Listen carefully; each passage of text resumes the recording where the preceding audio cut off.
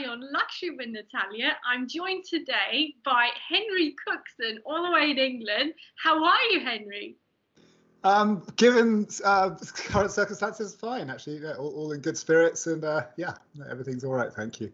Everything's good. Well, you're the kind of guy who gets people excited about going away and adventures. Of course, Cookson Adventures is a wonderful um, company that's been around since 2009, offering these never unforgettable experiences, and uh, that's something you specialize in in your team. But what's happening now with everything? We're all stuck at home, and is your business still going? What's going on? So no, we shut up shop and we've all we've given up. Corona's defeated us. Um, no, it's it's you know the, the whole world is in the same boat. It's it's you know it, it's unprecedented, um, but at some point life will carry on and life has to carry on. So you know we've taken um, the necessary steps to ensure that the company is shored up and and secure for if and when this well there is a when we just don't know when that if is. Um, things start to get better. Um, you know, there's there's two big problems here. We obviously have the virus itself, and then we have the economy, and and then getting back to whatever sense of normality that that can be. Um, and everyone gives up the ghost, then that that um, impact to the financial side of it, the economic side of it, which will, will affect people, food on the table, shelters over their head, um, will be you know increased to a huge magnitude. So I think it's very important that we keep positive. I think it's really important that we we prepare you know for the potential long-term effects of this, but also prepare for what's happening on the other side of it. And so with the, the team that we have. We're, we're, looking to the future. We're going back. We're looking at old projects. We're looking at ideas of traveling, things that were sort of those little conversations that scribble on a post-it note that never actually came into fruition. So I suppose we're going back. And I suppose we give a, a gardening terminology analogy. We're picking up those seeds again. We're putting them in some really fertile soil and letting them sprout. And then hopefully in time they'll bear some delicious fruit. I love it. And I'm very much impressed by what you're doing on your social media as well, keeping those dreams alive. And absolutely, all these little seedlings that were sprouting and sort of forgotten are now coming back. And especially remoteness and solitude, these places that have perhaps more um, something to offer than more places that we've been familiar with and where lots of people are always in the same spot. So tell us a bit more about what those places might be. So I, I, suppose I've always swum against the current, and for me, the ideal thing about going away is is having a sense of originality, a sense of uniqueness, and doing something a bit away from other people. Um, you know, there are those staples that, that everyone will do and continue to do, whether it's a party islands in the Mediterranean or if it's uh, going up a mountain during the, the ski season. And that's something that people will continue to do. But also, I think, you know, what's going through now, people are going to reflect a little bit more. And yep, you've got the Mediterranean, if you're European based on your doorstep. You've got the Alps, if you're um, from the US. You've got other places that you can go to every summer, Easter, Christmas of your life. But it's a huge, great world there. And and you know the frustration that I've always had, you know, we think our our own mindset, and I think it's insanity for people to do the same routine thing over and over again. Yeah, it's fun, it's great, but every so often I think you should get out of your comfort zone a bit and go and look at something else. And you know, over time I've realized, okay, we're all made differently. We all have a different priority and, and, and what we like. But I think this, the enormity of the situation we've just had, is, is I think giving people a pause for thought and say, okay, well, what am I going to do next time I go away? Yeah, I can go and hang out in some shishi bar or some shishi club. You know, how much meaning does that really have? Um, you know, it serves a purpose, it, it, does something, but you know, the time that we have away, we all work very hard. Um, you know, that's I think some of the most important time that we'll ever have, and to share precious moments and really extraordinary, exquisite places with friends and family, or even on your own. You know, we have people who travel on their own with us.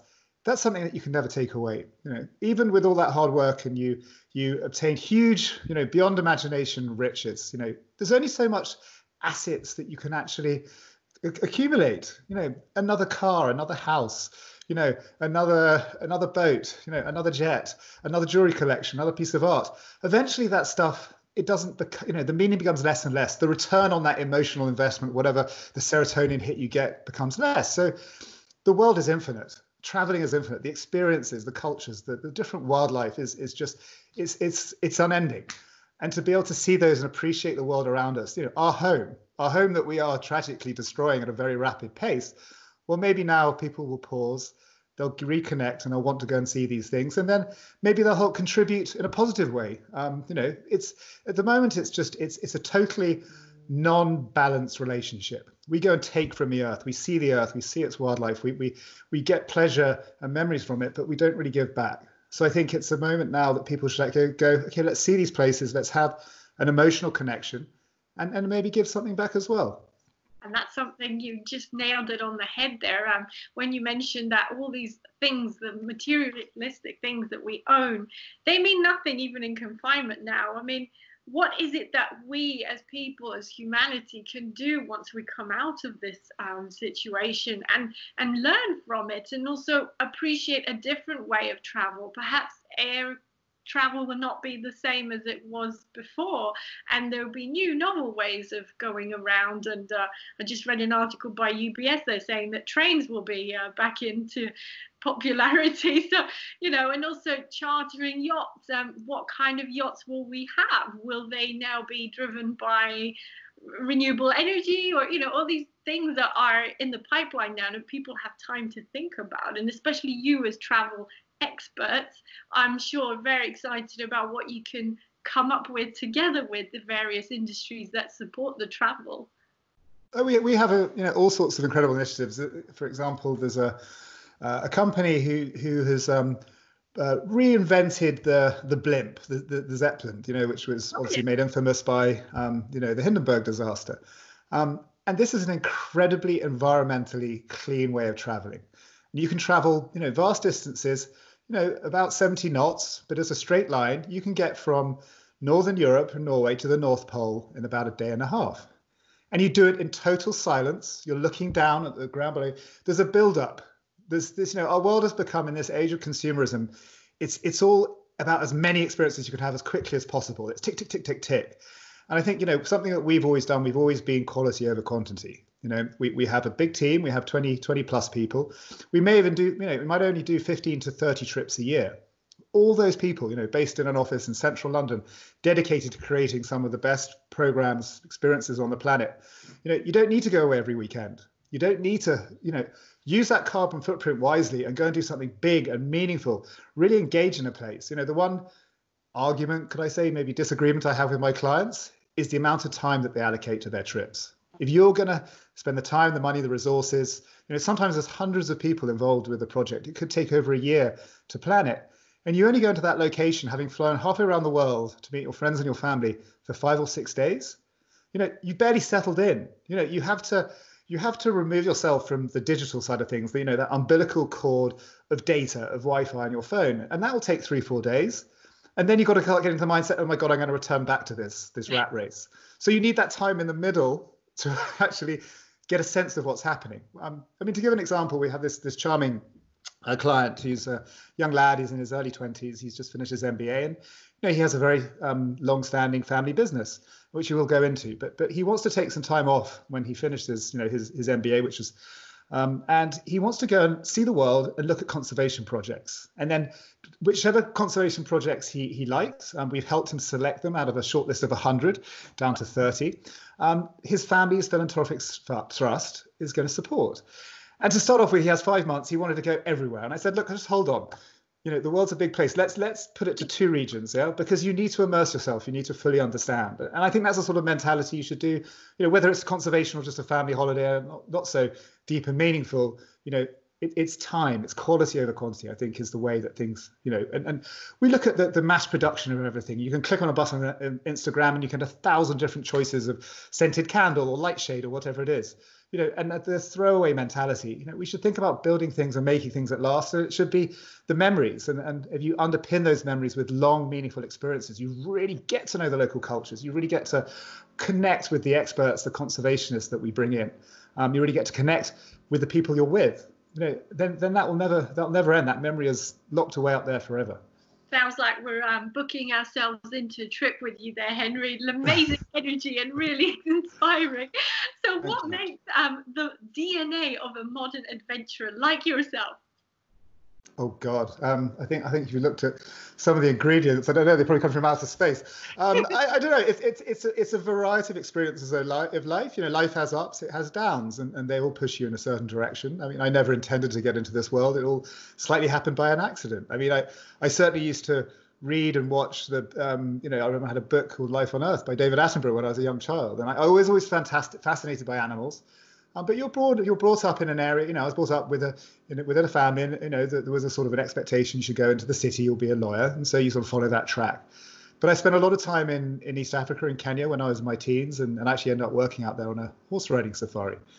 And that that sort of set off an itch that I didn't quite realize at the time, but but it was there, and I couldn't get rid of it. And I was working um, as, a, as a banker at Goldman Sachs, and and then one day I just had this epiphany. I said, this is this is what I need to do. Um, and I had a plan to go to Africa. That that never happened for various reasons. But you know, another sort of chance conversation. I ended up doing these ex- incredible experiences. I, I, did two expeditions. One to the magnetic North Pole in the Canadian Arctic, and then I crossed the Antarctic using a kite ski to a place called the Pole of Inaccessibility. And that was a what 53 day expedition, just four of us. So total isolation. So it's sort of preparation for this. Um, and, and and you know, I've been very social. I've met a huge variety of people in my lives from all walks of life, very sort of quirky and different. And all these little data points just feed in and, and, and then just give you ideas. And I, I have I have four little brothers, um, and you know, all of them are creative in, in some way or other. They could all be artists. I, I couldn't even draw a stick man, so I never saw myself as being creative. But it's only now in hindsight of being told by enough people actually well your creation is or creativity is not being able to transpose something from your hand onto a piece of paper it's it's what you have up here and being able to see a, a landscape to see an area to look at a map to speak to a few people and then create a, an experience about it um, and it took me quite a while as, as the company grew and it started off just from me and then more people came on board i used to get frustrated because people wouldn't be able to replicate what i was doing but what I saw found out that I could see this stuff so easily when I'd explain it to someone. For me, it was just so blindingly obvious. For them, it wasn't so so apparent. Um, so in time, I've I've learned to identify people who are more attuned to, to what I'm about, and also I'm more patient. I've spent more time actually, you know, getting that that that image and that and that um, that vision across. Yeah, well, that's the sign of a true entrepreneur and creative soul because uh, it's all within, and then trying to translate it sometimes is quite a challenge. So you've got a good team that's managed to do something. Well they're, they're, a great team. They're fantastic. They really are. Oh, fantastic! And tell me, um, so you've met, how many travel experiences have you personally been engaged with? Oh.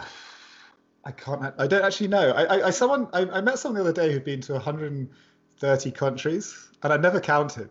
Um, and I know I'm, I'm relatively little traveled. I'm, i have traveled a lot, but I've only I've gone back to a lot of locations, um, you know, repeatedly, and I tend to go to the more remote locations, which are harder to get to. Um, and also, I've been very lucky. My, my parents used to be in travel as well. They had a, a villa rental company, so we had a, a, a, house in Greece, which we still have, and so I was out there every summer. So because of that, I didn't travel widely in Europe. Um, you know, I think I've been to 83 countries. Okay. But then quite a few of them are the ones that people have barely heard of, and you know, Antarctica is you know, obviously people have heard of it, but it's one that you know I've been there five or six times now. So um, there's still a huge amount I want to see, and um, you know, I because of this coronavirus, I was meant to be in Socotra, which is a, a small island off the Yemen, um, which for a long time has been been unsafe. The security has, has now improved drastically, and I was due to go there um, in mid mid March. Um, but literally the day that we're due to fly, very complicated logistics to get there. Corona really came in and, and that sort of put that on on on pause. You know, everything's on pause, nothing's being cancelled. That's, um, that's the, the way that we're looking yeah. at things. Yeah. I think it's important to also say, and I'm very much involved in the wedding business as well as a wedding planner, second hat. And um, what we're telling our clients are is very much postpone. Don't cancel, just postpone. This is a little bleep and a chapter that's going to have to be overcome, but the dream will still go on. And, you know, that's important that people still maintain that. And it's also good for their mind and to keep positive and keep inspired and, and have those dreams come true with the help of others to make them happen, of course.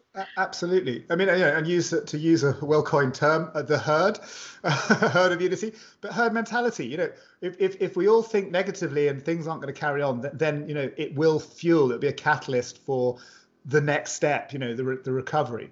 And the way that recovery goes is how people deal with it. And you know, people might think that that travel is frivolous and it's not the top priority. Well, there's not a person I've spoken to, and this is not just clients, this is peers, family, peer groups, and family who said, "I can't wait to get away." Um, yeah, maybe that might seem an indulgence, but you know, there, there is actually a very you know um, stark reality as well. Um, tourism is worth 10% of, of GDP, um, a huge proportion of our industry, of our world turnover. And you know, for the likes of us, you know, sitting in London, you know, we're okay. You know, it's it's tough times, but we have a roof over our head, we have food, we've got Amazon Deliveroo, all these amazing things. You know, online therapists and, and trainers and, and you name it. But you know, the, the people who are actually servicing on the ground, there are communities everywhere. There are wildlife conservation projects, which a sole sense of in, a sole sense of income is through tourism. So if we don't start traveling quite soon, those people are not going to be putting food on the table. You know, the environment, the conservation side of things is going to really collapse. So we're going to leave the world in an even worse place unless we, you know, there is a sort of responsibility to travel to ourselves to to have that breakthrough, to to sort of clear the, you know, the air after, you know, the confinement we had, but also to support these people around the world. Um, and I think that's really, really important. So, you know, those those clients who are due to travel, you know, currently, um, you know, almost to a one, they've all postponed. And you know, we're, we're slowly talking to clients about potentials going on. You know, it's still at the moment a little bit wait and see. Um, you know, that our governments, our authorities are still working out exactly how to deal with the next steps and, and, and counter the current threat. But you know, once once you know things start normalizing a bit, you know, I don't think there's anything um, immoral about about at least thinking about what next for traveling good well said. And um, so what's the next place you're uh, going to be uh, going to then? I mean is it picking up from where you left off or is it completely taking it back to the drawing board and going somewhere uh, we've got we've got projects um, in the pacific. Um, we've got submersible diving projects with linked into conservation in the pacific. And, and again that's was due to go off in june. Um, we're just sort of waiting and we're going to postpone it until it's, it's safe to travel. You know the last thing we want to do is people flying in and then um, contaminating local people so you know we're just you know like everything we do we do risk assessments you know risk management is, is the absolute top thing. So you know it has to be done responsibly. Um, you know we're talking to families who are looking to go and take take a private island other people who want to go and do a diving trip. Um, you know all, all sorts. Um, you know th- th- that's the beauty of what we do. We don't we don't pigeonhole into any particular trip that the range of things we do is just insane. I mean, we've had in the last 12 months a, a lady who wanted to to ride around the world on a horse. Um. This young young lad who wanted to do his conservation project. Uh, I said submersible expeditions. We have uh, rally trips. Um, we've done big, big birthday celebrations in Africa for sort of 30 people. You know, eight helicopters flying them about to little secret locations for parties and things um, to a family doing a, a four month sabbatical with tutors and conservation projects and, and, social welfare projects, even having their board meeting, um, you know, on, on a riverboat in, in Myanmar. Um, so, you know, there's, there's, all these incredible things. And, and then there could be the more normal, you know, five day adrenaline hit um, up in Norway for, for a group of guys. Um, you know, uh, we've done, you know, we've got a guy who wants to go and look at the, the, the origins of Islam by dhow. Um, so it's you know there's there's nothing that we don't look at. Um, you know, there's lots of normal stuff, you know, boat trips and and and you know private islands and things, but but we pride ourselves with doing the more unique, you know, out of the ordinary, com- complex. Um, you know, give us that challenge.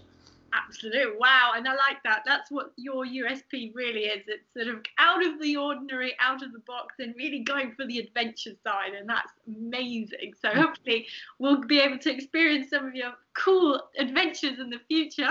And um, one last thing I wanted to ask you is, what would be your top three tips for somebody who's planning their next adventure? What do they have to think about? What do they have to think about? Okay, so think about what what has what has been held what's held you back in the past? You know what we all have boundaries we all have um, fears and and you know perception is everything. You know for us who are well traveled you know just to pop over to africa for a long weekend is fine. For other people they may have never left europe. Um, so so just think about what what has held you back. Think about what you've really what's grabbed and resonated with you while you've been watching the television while you've been flicking through a, a magazine looking at instagram. And and and then you know, speak to your friends, speak to your family. Who do you want to join with these things? You know, I've done a, a lot of trips on my own doing research for clients and, and for my own travels, but there's nothing better than sharing it with someone. Um, so think about, you know, maybe maybe you know you have a very tight knit group of friends, but maybe they're very much sort of in that mind zone right now, I'm going to take a villa in the Balearic Islands, or I'm only going to go to Florida. Um, you know, well, maybe spread your wings a little bit and, and, speak to friends who are a bit more eclectic, a little bit more risk taking. And by risk, I'm not saying doing anything dangerous, but going something a little bit further than what you're used, you're used to, you know, and get that conversation going. You know, we all know how we've found ourselves in new careers, new relationships, new experiences just from that offhand conversation that you might have had at a dinner table or even on a train or you know, on a plane or whatever it might be. So, so start those conversations and go, well, what if, you know, if we had all the time, if we had all the money, well, where would we go? And then work back. Start with your dreams, nice and high, and then you can just scale back to something which is you know in between what your previous comfort zone and and what that dream is fantastic. You should be a motivational speaker by the way. I'm really ready to go. Well I'll, I'll play this back because i need some motivation to keep my, my discipline going during this uh, this uh, this lockdown. I, I just uh, yeah, it's I've got my rowing machine here, and I, I have a paddle board that I go and take onto the canal in in in London, um, it's the perfect form of isolation um, exercise stroke meditation. So. That's wonderful, Henry. Thank you so much for coming on and all your insights. And if anyone wants to connect with you or the company, where do they go? Um, so we have all the use. We have Cookson Adventures um, on Instagram or Cookson Adventures uh, website.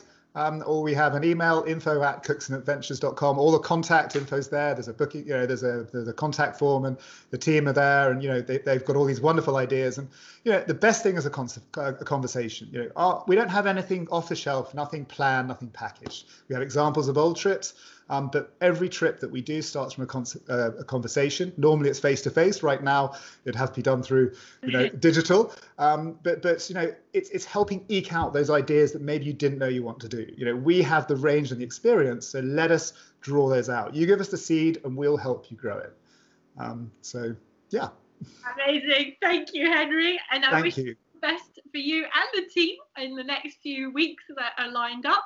But it's great we get to brainstorm and really get at it to come out better and stronger at the end of it. Absolutely. Well, thank you very much. And um, our next broadcast, I think we should do live from some remote, exotic place, yeah. which will inspire lots of people. Absolutely. Yeah. I especially love the submersible photo that yeah. I used and um, lots of content there. So let's watch this space and come soon. we'll, we'll, do a combined wedding honeymoon somewhere. I'm getting for that. okay. You take care. Take right. care. Thanks so Thank much. You. Right. Bye bye. With another episode with Luxury with Natalia. More episodes coming soon. Take care, everyone. Bye.